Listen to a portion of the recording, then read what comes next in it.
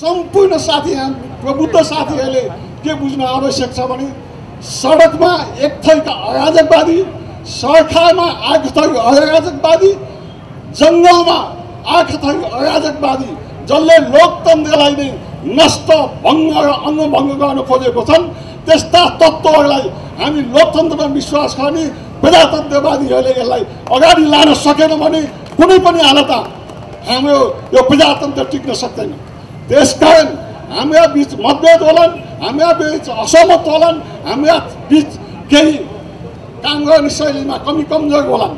तथापि लोकतन्त्रवादीहरू नेतृत्व नेता भन्दा पनि नीति प्रधान रूपले हामी अगाडि बढ्नु पर्नेछ आजको यस कार्यक्रममा म गर्वका साथ के भन्छु भने आँखाको नानी सानो हुन्छ तर त्यसले संसार हेर्ने काम गर्छ। मुटुको ट्वेल्भ च्याम्बर सानो हुन्छ तर होल रक्त सञ्चालन गर्ने काम त्यसले गर्छ।